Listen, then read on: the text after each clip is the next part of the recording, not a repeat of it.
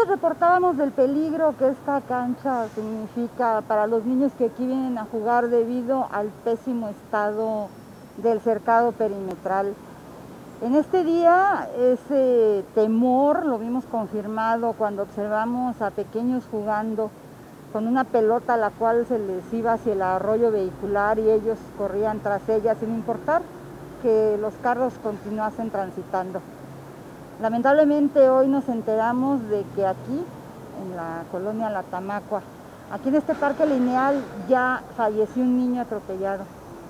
Fue detrás de una pelota y perdió la vida. Alan Trinidad Soto Chávez tenía 17 años cuando murió luego de ser atropellado al ir tras una pelota que atravesó uno de los agujeros de la malla perimetral de la cancha del Parque Lineal La Tamacua, según refirieron personas que atestiguaron los hechos. Esto ocurrió el 2 de enero de este año, pero lamentablemente ni siquiera esa advertencia fatal ha servido para realizar las acciones necesarias a fin de evitar que otro joven u otro niño sea atropellado y que con ello se destruyan más vidas.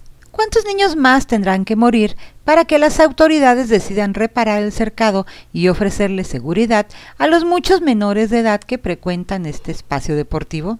En este lugar, a todas luces, el robo hormiga del cercado es evidente, aunque hay quien dice que la valla ha sido destruida a balonazos por los que ahí acuden a jugar. Sin embargo, ni una ni otra causa de que el cerco vaya desapareciendo paulatinamente explica el por qué no se han realizado las reparaciones para evitar un accidente fatal como fue el que le arrebató la vida a Alan Trinidad. Si bien es cierto que faltan solo unos días para que finalice la actual administración municipal, los desperfectos en las vallas de este parque lineal datan de meses, desde antes incluso de que fuera atropellado y muerto el joven Soto Chávez. Además, a diario arriesgan su vida los niños y jóvenes que acuden a este sitio en busca de esparcimiento sano, sin que las autoridades lo hayan notado.